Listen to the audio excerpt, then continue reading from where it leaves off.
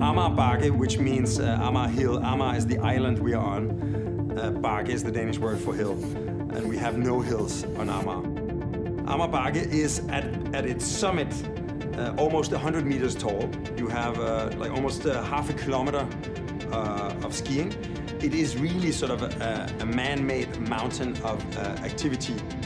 I mean, first time I saw it was on Netflix, maybe like everybody else, but it's way, it's way cooler to see it in real life. It's, uh, it's quite a, it's quite a mountain actually.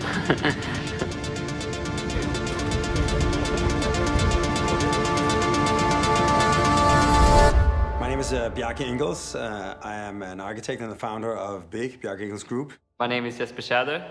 I'm a professional free skier and uh, I do it because it's fun. What you're doing as a profession is almost finding ways to reinterpret some of the things you you find in a, in a, in a way that, that goes beyond the, the immediate prescribed behavior and, and take it, takes it to the next level. It was interesting meeting Bjarke because he was like in just 15 minutes he pretty much figured out the future of free skiing. This whole idea started because we were invited to do the building around uh, a power plant that was going to be the cleanest waste to energy power plant in the world.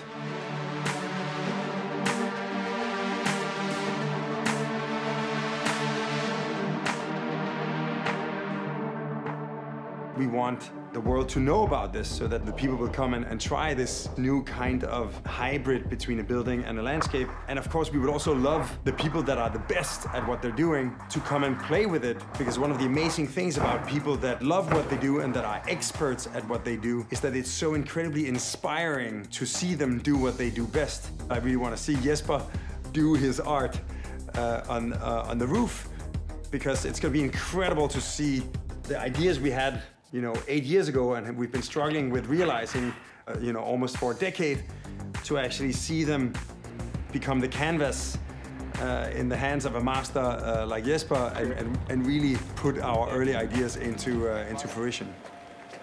I mean, this this building made it so easy for me to figure out what to do for this project because it's not really about what tricks I do. It's more like actually skiing down a building. That's that's the cool thing. So it was really easy to figure out the line down the building.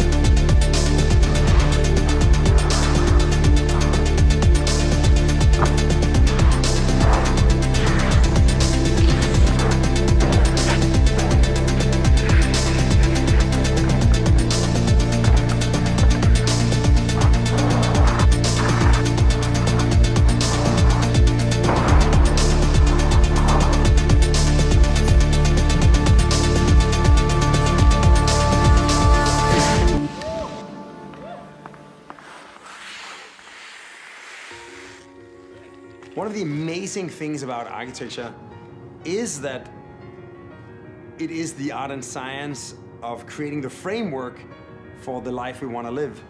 And it's also the art and science of turning fiction into fact. We've been working with this idea uh, for like um, maybe a decade and a half that we call hedonistic sustainability. And that's because if sustainability is always seen in the context of this kind of urgent situation, the world is going down the drain, we need to be sustainable, we can't have the quality of life we're having now, it's, it's almost this Protestant idea of taking cold showers in the morning, you know, like uh, it has to hurt to do good. But what if sustainable cities and buildings actually are not about all the things you can't do, but all the things you can do? What, what if a sustainable city or sustainable building actually has more opportunities, is more enjoyable than the non-sustainable one. So it's that mindset that hedonistic sustainability teaches you that by thinking about sustainability, you're also thinking about a city that's more exciting and more fun to live in.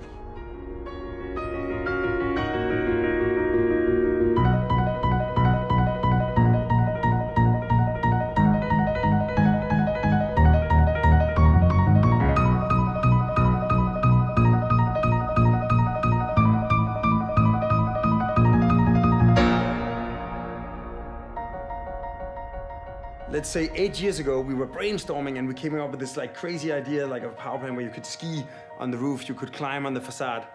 And then we, you know, we had to like solve a lot of things. We had to like make a lot of technical solutions, apply, get a lot of permits. And very soon, it's gonna be a fact that in Copenhagen, we ski on the roofs of our power plants. And just to put it in perspective, my son is four months old. He probably won't remember a thing for, for the next two years. So he probably won't even realize that there was a time when you couldn't ski on the roof of the power plants. So imagine for him and his entire generation, they're gonna take for granted that power plants, they're clean and they're like the coolest parks. You can climb the facades, you can ski on the roofs. So if that's gonna be his and his generation's baseline, imagine how far they're gonna be able to imagine into the future.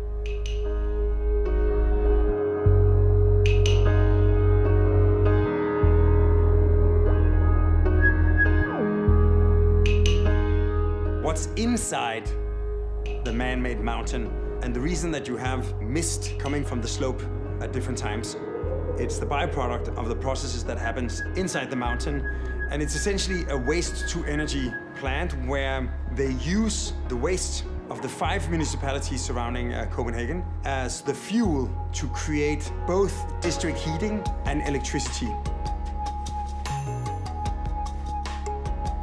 Copenhagen is a city where 97% of the homes get their heat as a byproduct from the energy production.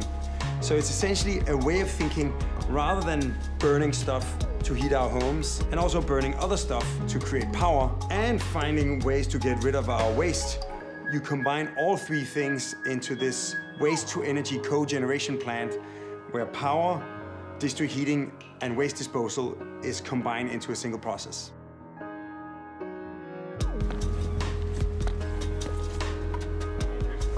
The second you create something new, it's almost like opening a door that others can walk through because in a few months, when the power plant is finally open and the park is open, you can say, well, in Copenhagen, they're skiing on the roofs of their power plants. Their, their waste management is also their energy supply, which is also their heat supply.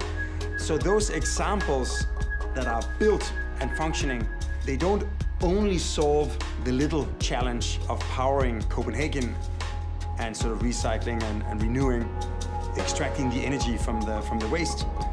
Uh, but they're also becoming a beacon that others can look to and say, if they can do it in Copenhagen, why can't we?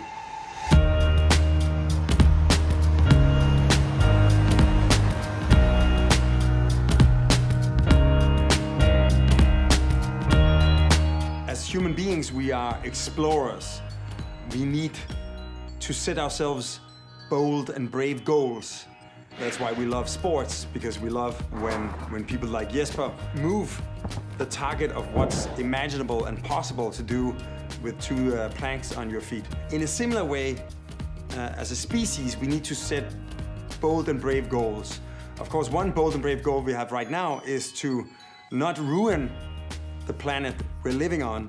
One of the sources of problems here on Earth is carbon emissions uh, that we're emitting too much CO2, we're causing global warming because it all comes from fossil fuels. On Mars, there are no fossil fuels.